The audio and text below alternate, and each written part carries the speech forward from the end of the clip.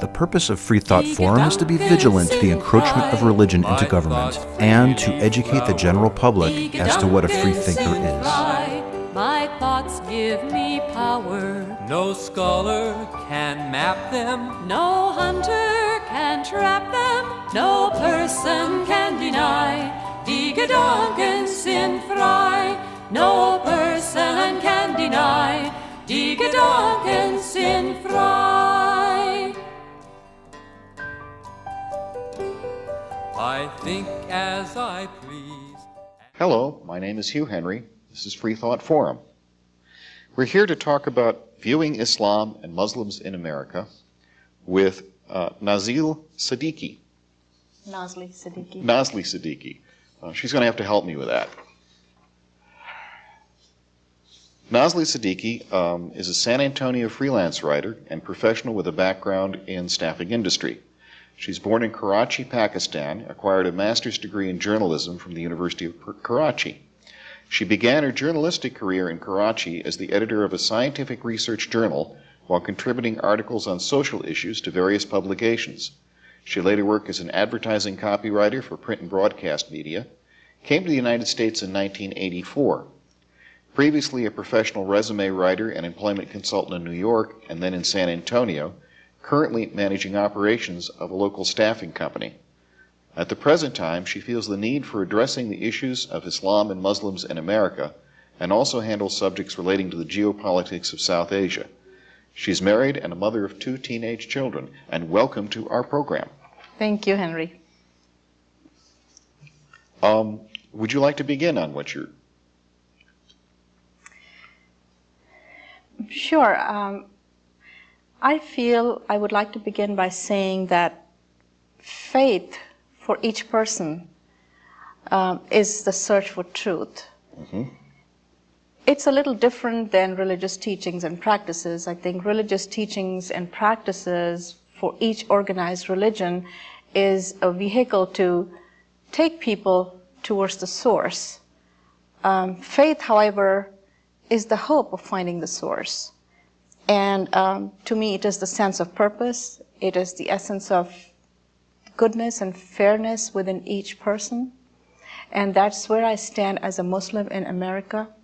I feel that Muslims are like any other group that lives in this free society.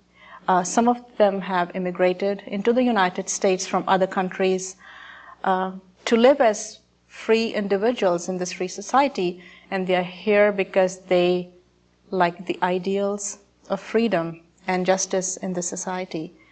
Some of them have embraced Islam, um, not previously born as Muslims, mm-hmm and they too share the same beliefs. So I think this is a group that has been grossly misunderstood, especially in the post 9 11 era.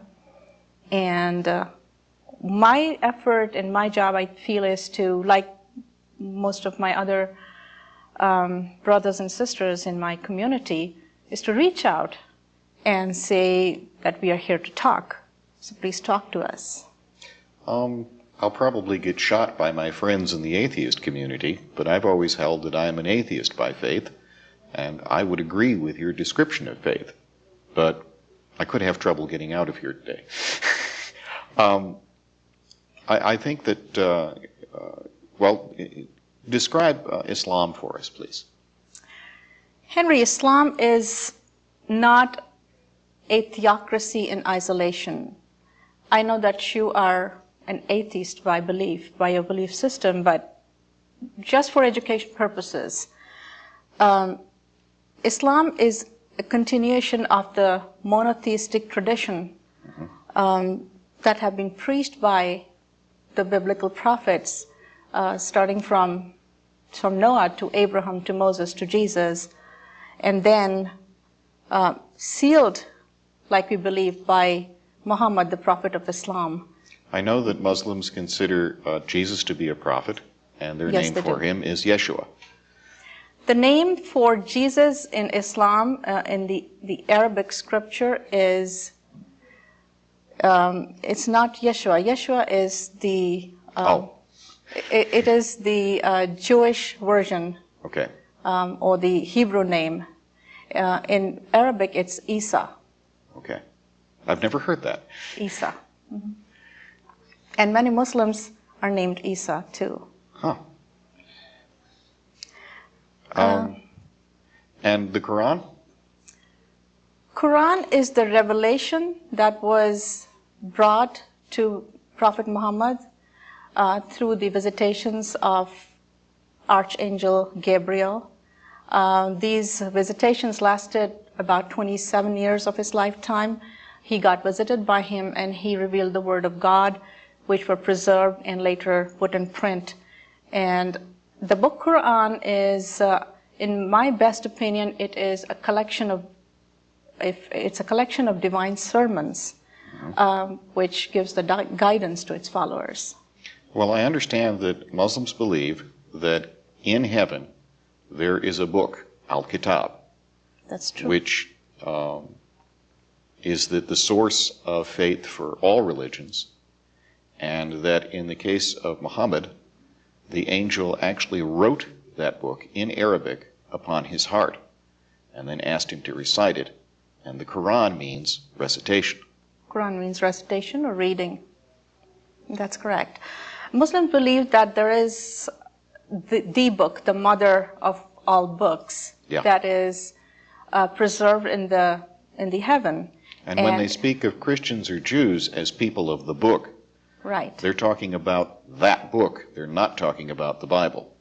they are talking about the derivations from that book that came in form of uh, the Psalms of David or the Torah revealed uh, to Moses or or the Gospels given to Jesus and then the Quran given to Muhammad.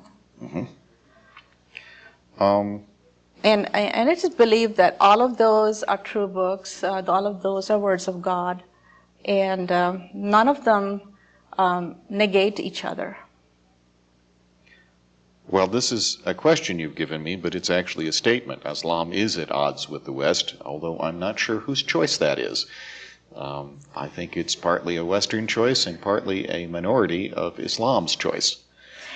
It is a misconception, which is, of course, it, it's bounced around. An idea is bounced around, and then the idea is bought and it's built upon and it's crystallized in our minds. And that's what it is. I do not believe that Islam is at odds with the West or this is a clash of Islamic civilization with the Western civilizations, none of that. I really believe what's happening today is a lot of politics. It has a lot of political background, and it has um, it has to do with the grievances that have accumulated in the hearts and minds of people over over the decades of what they feel are unjust policies uh, followed by the United States, and I think a lot of it can be resolved um, by correction of these policies and to begin with by engaging in a dialogue. That's where things will begin, uh, engaging in a widespread uh, dialogue within America and with the international community by Well- organizing forums to that effect. Western civilization owes a huge amount to Islamic civilization. Um, there is so much. Uh, for example, our mathematics. The uh, Arabic word for thee is al, so you Right. have algebra, algebra, uh, which might not make you popular in high school if I took bring that up. uh, but there was so much from Islamic civilization that actually started, that lit the fire under Western civilization and brought about the Renaissance. Uh, it, the Islamic people had preserved, translated, and preserved all of the ancient books that they could from the Greeks. And if it wasn't for them, we would have nothing by Plato or, or Socrates or, or Plato or, or Aristotle. Um, they brought us the, the, num- the number zero from India came in.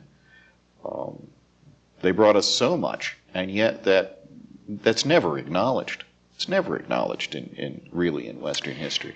It's not acknowledged because um, Muslims have not emerged in this era to claim it.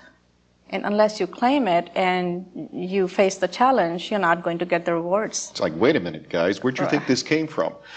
Right, and uh, nobody's going to, to extend it on a silver platter for you. So you have to emerge uh, to the level where you are performing and you are claiming uh, the, what, you, uh, what you've sowed in the past.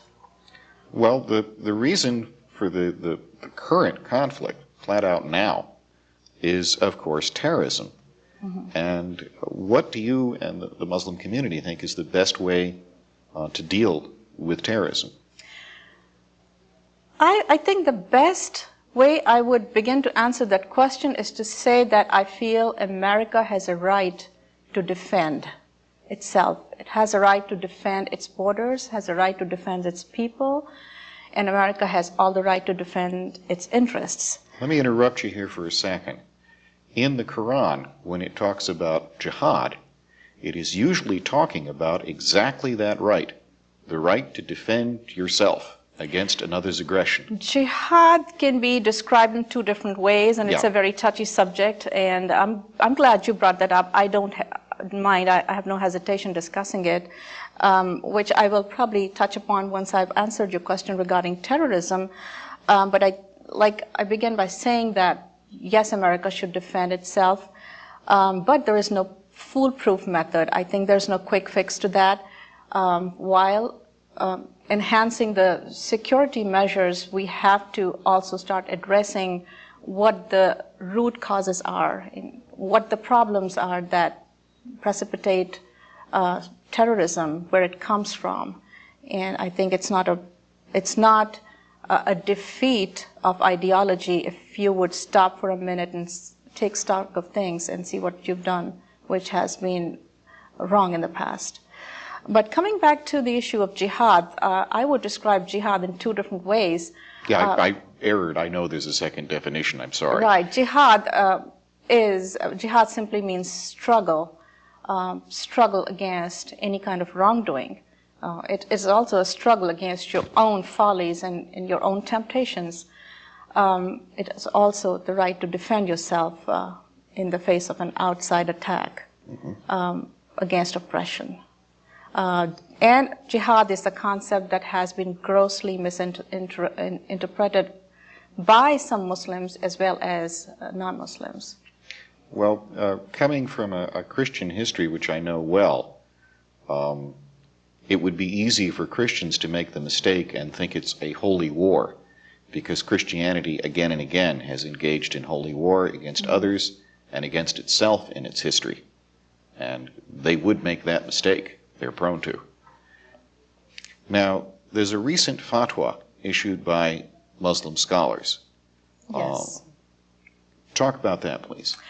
There is a fiqh council of North America uh, which in, involves scholars. Now, fiqh is uh, it is a um, issue of Islam where scholars who are very knowledgeable and who have acquired a certain level of knowledge uh, can confer to um, issue uh, new degrees or religious edicts in face of new challenges. And that's what uh, this council has done. They have issued the fatwa or the religious edict stating that terrorism is forbidden in Islam. The term is haram, which means it's strictly forbidden, and anybody who follows it or supports it uh, is a criminal, not a hero or a martyr. Now, I'd like to explain um, to people that the organization here within Islam this is not comparable to, say, the Catholic Church with the Pope issuing a bull, in that the Pope has um, this religious uh, authority passed I through agree. ceremony, etc., onto him. In Islam, particularly Sunni Islam, um, scholars look at the Quran, they look at the sayings of the Prophet, the they hadith. look at the, the behavior of his community, all of which was documented around 1000 AD and put together. And when they have to deal with a problem that isn't directly addressed there, then the scholars will issue this, and Muslims are free to either agree or disagree. I agree with that. And this is the loose, loose central organization within Islam. And I would even say the lack of central organization within Islam that is good and bad. yeah. It's good because it allows, it affords freedom to the individuals to, to either accept or reject what is being issued by the scholars and the opinion leaders. It is bad because then sometimes it becomes chaotic. Now, I, In, in this respect, I'm, um, I just wanted to add that in, in this respect, I think this fatwa or religious decree is getting a lot of support because it has been backed by 130 organizations, institutions, leaders, and um, the mosques. well, this, this is how uh, something like this gets more accepted, is if Right. more respected people say, look, this is, Right. this is the case. Now, I excluded Shiite Muslim because for, for them, uh, the people who would issue this do have a certain religious aura to them and are thought to be, to a certain extent, uh, speaking as the prophet spoke. Not nearly as authoritatively, but somewhere halfway in between. Um, so that's the, the technical difference here. Fortunately, in America, Muslims are not, uh, they are not divided in, in terms of Sunnis and Shiites. And they converge at the same mosques and pray together, confer together. So I think this uh, religious decree has a lot of popular support. And it's going to go a long way in mobilizing the masses. Um, what do you think the role of the media should be in post 9 11 with respect to the um, Islamic community? The role of media, unfortunately, has been less than perfect in the post 9 11 era. I feel that media has sensationalized and made business out of this very stark tragedy. And instead of healing the wounds, they have created this wedge between American Muslims and the rest of America, which has not come to anybody's benefit. I think the role of media should have been presenting a balanced view of what's going on and what the reality is and getting opinions from all sides involved in this conflict. Well, what many people don't realize is the tradition of American media is the tradition of entertainment. Um, there was a, a period in the Second World War and shortly after where this idea of journalism and balanced view came into effect. But really, historically, the media, the news, and so forth, has always really been there for entertainment, and it's simply getting back Right. to its usual business. And people don't realize that. They're still thinking of of journalism and balance and truth telling, and that's just not what American media did for most of its history. Unfortunately, American, most American people don't realize that, but people internationally are aware of that.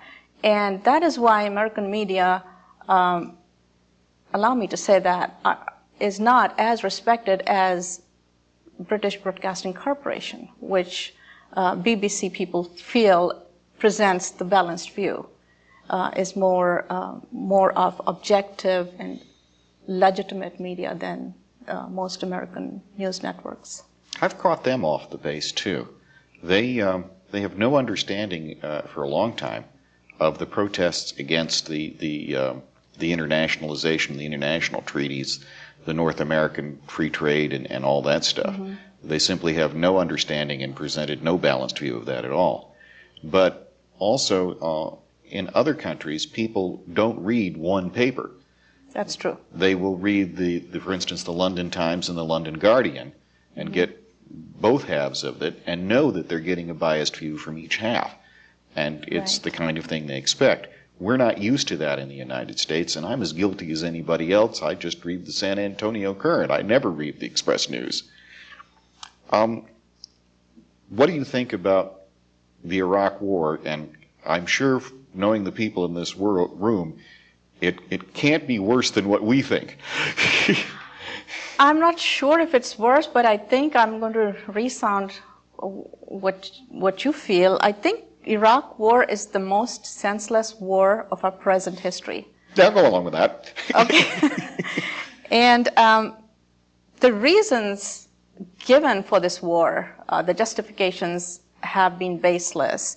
Um, you, talk of, you talked about weapons of mass destruction. They were Which not weren't there. found, which were not there. And I don't know if we believed to begin with if they were not there or we were incompetent and didn't know. But those, those were not there. Saddam Hussein, as inept as he was, he, I believe he could have been easily taken down by some political maneuvers, so a war was not necessary. Establishment of democracy, and I don't buy that one at all, because that's not what we are doing at all on the international level. And who are we to say what form of government and what form of democracy is good for what people? It's up to the people to decide. I think this has been a senseless war that has caused more destruction than any of the wars or any conflicts in the past I on think both sides. I think you don't give enough credit for the crusading idea of that frequently shows up in the Christian West. Um, I think one of the major drivers for this war is a very arrogant notion that if we established a free market democracy in Iraq, and I think this is still a notion, that it would spread by contagion because it's so obviously a superior uh, idea and infect Afghanistan, Syria, and all the neighboring countries and solve all our problems. When this problem was presented to the State Department, of course, the State Department uses very diplomatic language, so they couldn't say, Are you guys on drugs or what? Mm-hmm. But they did say, Look, even if you got a democracy there, there's no guarantee at all that after you got it there, it would have any liking for America whatsoever. And that's exactly what, what it has turned out to be. And we actually disposed of a democracy in Iran under those circumstances in the 1950s. We had a democracy, they didn't like us, we didn't like them, so we replaced them with a king. Right. That's amazing, yes. And we support other kings and monarchs, so what was so unique about Iraq? Well, it, we could say that the, this first Gulf War, with respect to Kuwait, was to make the world safe for kingdoms, which Kuwait remains. Mm-hmm. I think so. Now, So- you go ahead. No, I, I really feel that it we are stuck in Iraq now. We are stuck Oh, in. Iraq. And uh, I notice that um, you're talking about we being stuck in Iraq, not you being stuck in Iraq, because of course you're here in America and you're us. You're not them. I speak when I, I speak as an American, and then I speak as a Muslim, and sometimes I speak as a woman. So I'm a lot of people. Um, you've said, uh, I believe I have it as the quote at the end of the program, victory in the war against terror could not be achieved without Muslims on board. Could you talk about that? I very firmly believe in that, and that's an area that has not been utilized by America. A source which is the American Muslims or Muslims all over the world. If you look at the model of the response that came from the July London bombings, you'll see that that's exactly what Tony Blair did. I'm no great fan of his, but he did a great job, I think, and uh, credit is, should be given where it's due. Uh, what Tony Blair did was he immediately connected with the Muslim community and brought them in uh, to find out the best response that could be given to this problem. And I think um, he realized that the Muslims face the same threat that the rest of the society faces in, at the hand of the terrorists. Well, not only the terrorists themselves in their acts of killing, but their, even their ideology is in fact a threat to Islam and the Islamic community. It is a very big threat. It's as big of a threat to Islam as it is to America or the West. Because this is converting your religion into something that's never been before It's never been before, and, and has no desire to go. we have no desire to go that route, and we are concerned for us and for our future generations. And we would definitely like to save our faith and our community from that threat, that menace that's called terrorism. I know one issue with um, my friends here in the atheist community is women in Islam. And I know there's an awful lot of misinformation about that because I know about uh, the Prophet and his first and second wives. And I know about the times when there, instead of a caliph, caliph, there was a begum in Baghdad. Um, Could you talk about women in Islam? It's a very touchy subject because most people would not want to believe what, what I'm going to say, but I think Islam is the is the only or probably the first religion that gave rights to the women in the scripture. Uh, I'm not talking about rights of the women as they acquired it through their struggles or suffrage movements or or other um, feministic movements. I'm talking about rights in the scripture. A woman was given the right to inheritance. She had she was given right to um, witness, bearing witness in the court. Uh, she was given a lot of rights within the family and within the community.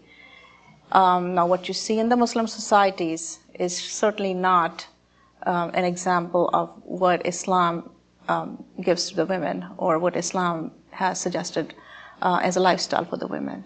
No, it's what's it's the tradition that was there before Islam came. Right, and, unfortunately. And it's a struggle to change it. Right. And you've been working at it for, you know, a thousand years and it, you Right. still can't get it budged sometimes. That's true.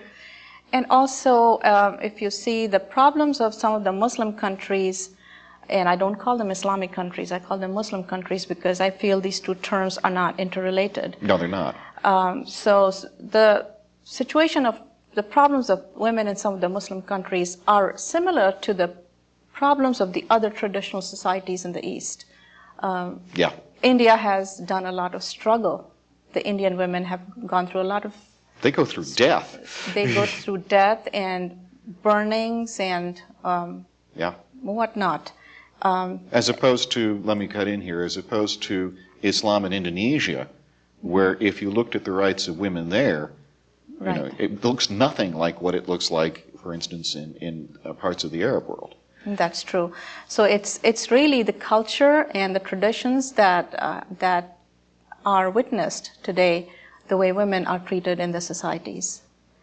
Um, women in China had to go through a lot of struggles. Yeah, the broken feet and so forth. Right. So it, it depends on how traditional the society is, and if the society is a feudal society, uh, then the feudal system has its own way of subjugating people, including women. Well, women's rights here really didn't come into existence until the previous 200 years, and uh, was a real struggle 100 years ago to get the women's right to vote.